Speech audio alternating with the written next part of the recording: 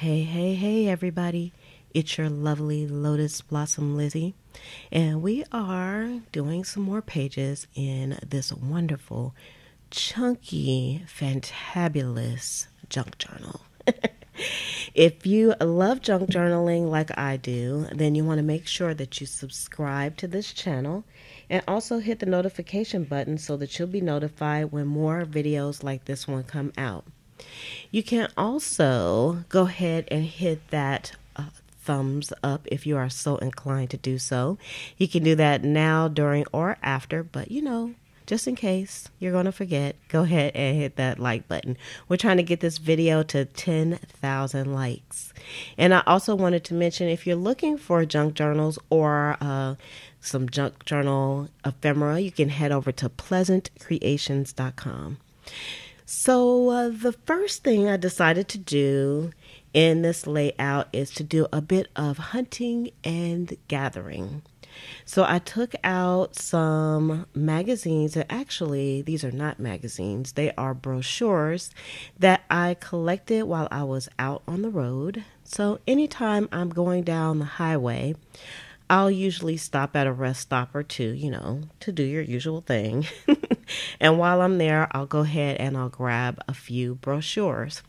Now, sometimes in those brochures, I can find like some uh, really cool looking words in there.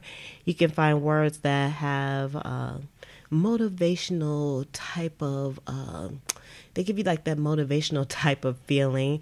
And you can also find some images as well. So, brochures are a great way to kind of find things to put into your junk journal because, you know, technically, I'm just going to say that these will actually be kind of trash because you know you look at them for a few minutes and then they end up being trash. So they're perfect for junk journals because you know I love putting junk in my junk journals. so I just continue on and I keep looking for things. And sometimes when I do my junk journaling, I'll do a bit of hunting and gathering before I start. I don't use everything that I actually pull out of the books and the magazines and the papers and all that but at least I'll have them ready to go. And I also don't cut everything all the way down. Sometimes I just tear out a few pages and then I'll put those pages into my junk journal drawer. I have a few drawers where I have been collecting up things. So you can actually just use a folder or something like that to just collect up some items that you can use later. And then that way, when you know that junk journal itch kind of hits you, you'll already have you'll have a few pieces that you can actually use. And then after I go through and I pull out everything that you know I I want, you know, after I've pillaged and plundered the book, then I'll go ahead and I will toss it into the trash. But you know, it's all good. Oh, I also wanted to mention if you want to see this video in its entirety, you can head over to the Patreon channel, and that's at patreon.com slash Liz for a day, where I post up lots of different and exclusive content. Now, the next thing I'm doing, again, I'm kind of hunting and gathering in this respect as well, is I am going through my little pouch and just kind of figuring out if I want to use these little pieces. So with this, I decided to kind of make a journal card. And I had some ticket ephemera that I've made. I have these little scraps of, I call them desk fabric, because sometimes I end up with a lot of little pieces of fabric on my desk. And I wanted to use those as well. I even thought about using that envelope, but then I thought against it.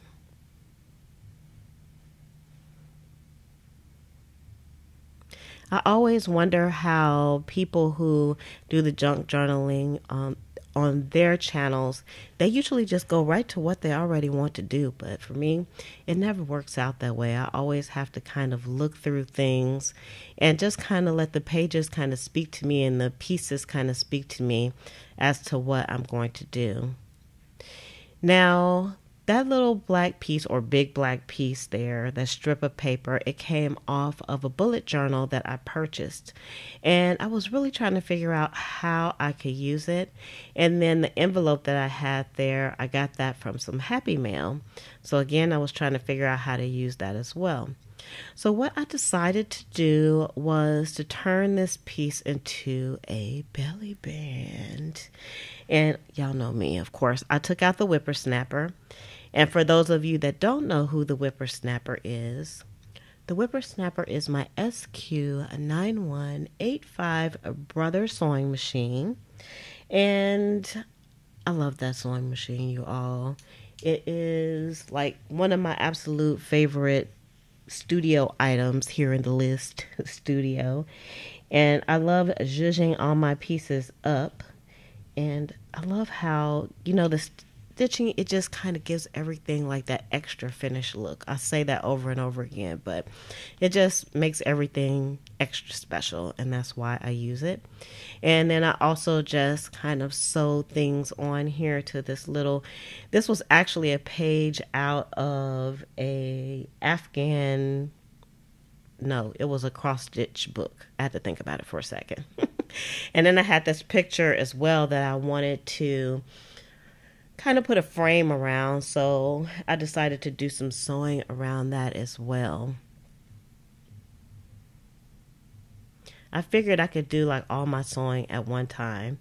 This was just a card that I got out of a cardstock pack and it was one of those tearaway cards so I decided to uh, zhuzh that up as well and do some decorative stitching. Y'all look at the decorative stitching on here. Y'all, the whippersnapper is quite amazing, I have to say.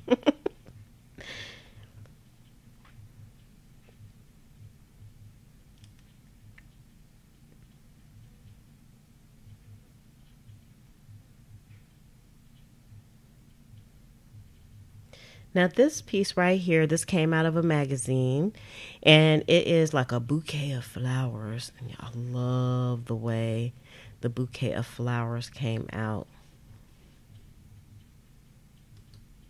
So I'm taking the envelope that I was looking at a little bit earlier and I took off the stamps because I knew I could use those later. I'm, I notoriously take stamps off of junk mail and any mail that I receive from other people because it's just it's absolutely beautiful. So what I decided to do was to glue on this journal card onto my envelope here and instead of like gluing it all the way down, I wanted to make it into a pocket. Y'all, the reason why I'm talking so slow is because it has been a while since I recorded this video. so now I am trying to uh, trying to anticipate what I'm looking at and tell you how I felt about these pieces, which I still remember like it was day one, but um, sometimes I'm a little slow on the uptake. Y'all know how it is my public school education and stuff. so here I'm going to go ahead and make this into a belly band and I'm just using some double stick tape because I wanted to make sure that this didn't come up. I, you know, I mean, even with some glue, I think it would have been okay. But I did glue this down to a piece of vellum, and anytime I adhere things to vellum, I always use the double stick tape as opposed to any wet glue because the vellum actually it'll wrinkle up and it doesn't really accept glue um, that well. Now over on the other side of the page, I'm just trying to figure out how to use that big book bouquet of flowers. It looks so good when I put that sewing around it, y'all. I loved I loved how it came out. And now I'm using some of my Purple glue, and someone asked me if uh, this was my favorite glue, and it kind of is. At first, I was like, no, this is not my favorite glue, but I guess it is kind of for this application, yes it is. And I love the purple glue because I can actually see what I am doing when I'm putting the glue down. So that's quite nice. So next I wanted to put this envelope into the middle, the spine of the book, but this washi tape that I pulled out, as you can see, it didn't rip properly. So I decided to just put that at the top of the envelope because I'm going to make this envelope into a pocket, you all. I love making envelopes into pockets, and it gives you like some extra space to kind of tuck some things in, and that's always fun. All the interactiveness of the junk journal, I think, is what I really, really enjoy.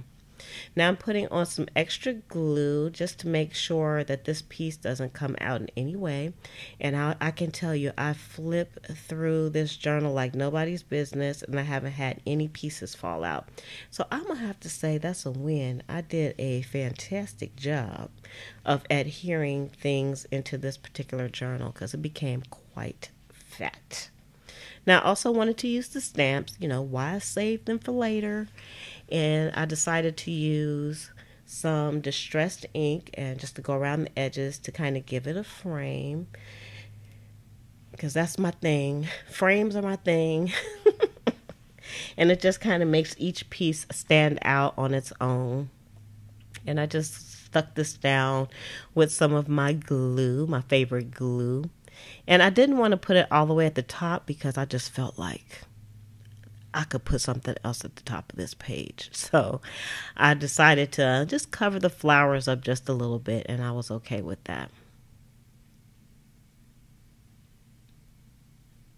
Now, I also wanted to put the washi tape on the other side of the page as well, because you know, if you do it to one side, you should do it to the other, and then that'll definitely, you, it will definitely and it surely assuredly, I hope I said that right.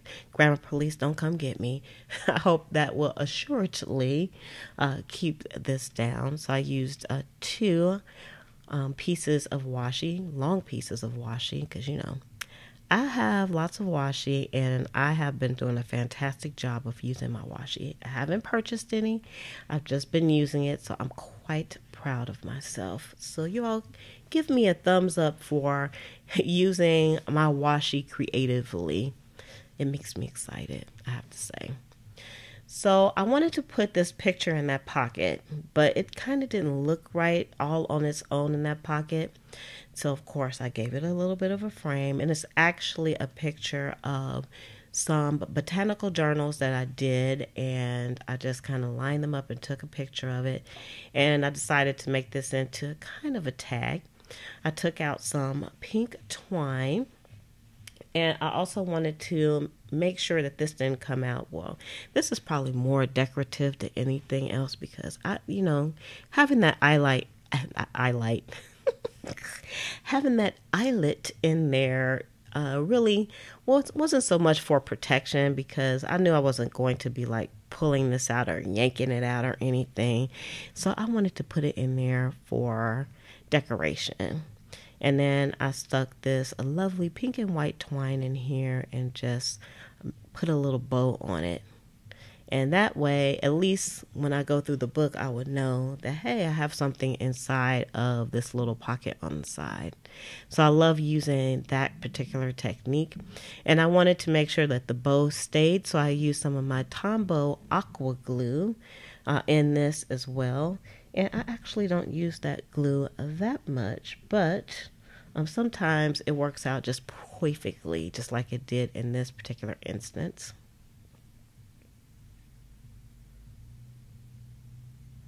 So I wanted to do a little bit of journaling on uh, this little makeshift card that I had here. So I pulled out my Sharpie ultra fine tip pens and these are my go-to pens when it comes to doing my journaling.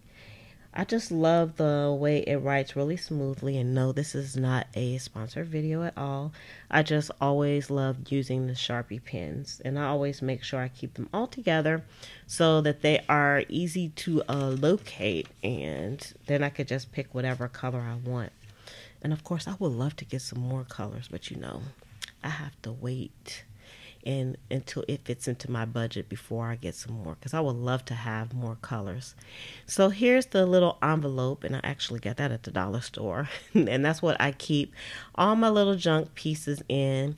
And I do have uh, like two drawers that I have more pieces of things that I can use. So I have right now an unlimited supply it feels like an unlimited supply of things that I can use within my junk journal.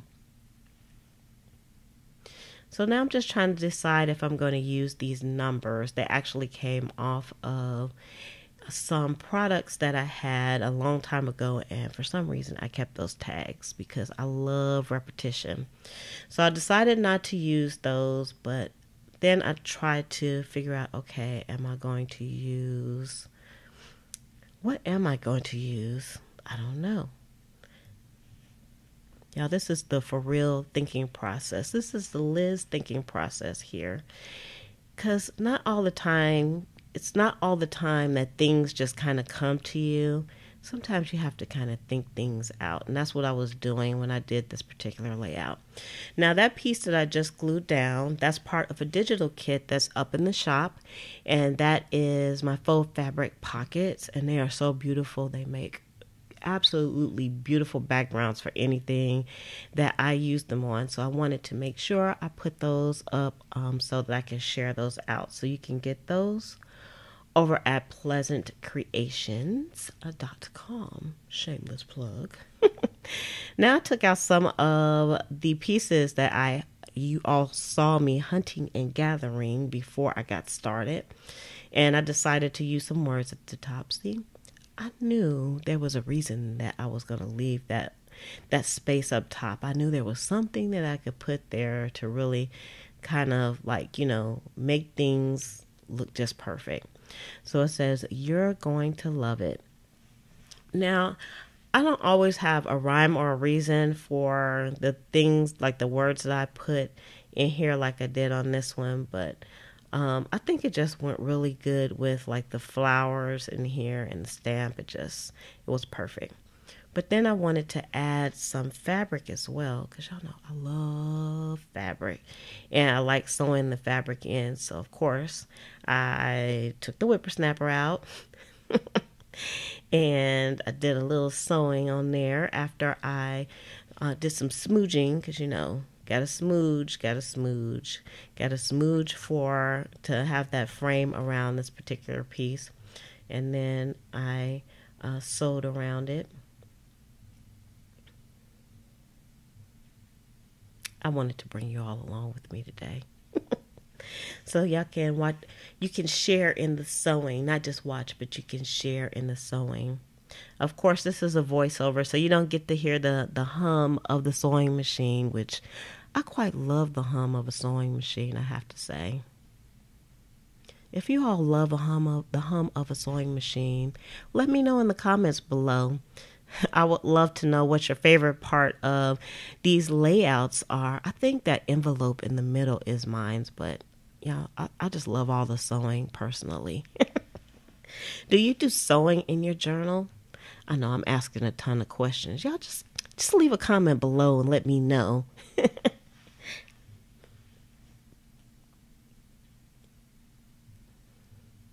came out quite nicely. I actually used two different lengths of the same decorative stitch on that particular piece and it came out just perfect for me. Know, I got to use some scrap pieces of fabrics in this layout. I got to use some magazine pieces, some junk mail pieces as well because we used the envelope. And also we used like those little doggy stamps oh, on it. Those stamps are so beautiful. Even used some washi tape that one might throw away. We used that as well.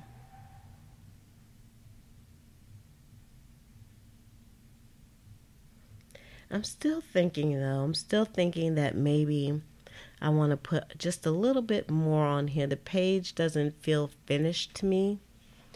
So I get some more washi tape out because I have plenty that's sitting next to me. So I'm kind of giving it like an eyeball try on which washi tape I would like to use. And not only did I have some washi tape in the drawer next to me, I had like this little container that has some washi tape also. So a good little trick if your washi tape is not that sticky is just to put a little bit of stick glue on the back. Now, yes, that glue is purple, but as you can see, the purple is dissipating uh, quite quickly. It's going to go away and I'm not going to have to worry about that. Now, this is a fabric washi tape that I had, and I wanted to kind of use some of that. And I love how it looks on this particular piece. That kind of really was what it needed. It was kind of plain, even though it had the sewing on it. But once I put that fabric tape on there, let me tell you, I couldn't keep my fingers off of it because it felt so luxurious and beautiful. So I took out my tiny words and I decided to use some of those on these layouts as well. But I wanted to uh, give my tiny words a bit of a frame. And I'm using some chalk, um, some chalk inks that I have. I guess they're called chalk inks. I can't even tell you what the brand is. And even if I knew, I wouldn't tell you because they are very crappy but they're good enough for small jobs but they're definitely some they're that's the worst buy that I ever did, but I'm able to still use them. So I wouldn't recommend them to y'all. If I don't like something, I'm not going to recommend it. So you can bet that. so I put quite a few of these tiny words on this layout because I just felt like it needed more. You know, you know when stuff will, will let you know when it's finished.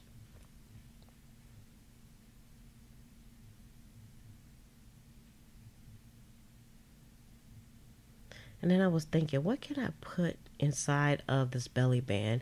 So I got one of my flashcards, and I didn't do anything to it at this moment. Um, I just stuck it inside of here, and I stuck my little my little photo back in here also. In here in the pocket, that is. so that is pretty much it. I hope you all enjoyed this. Please make sure you leave a comment below and let me know what your favorite part of this layout is. Also, you can head over to pleasantcreations.com and pick up a journal and some ephemera or two. Don't forget to give this video a thumbs up. We're trying to get 1,000 likes. And with that, I'm going to say love, peace, and hair grease. From your sweet lotus blossom and lovable Lizzie.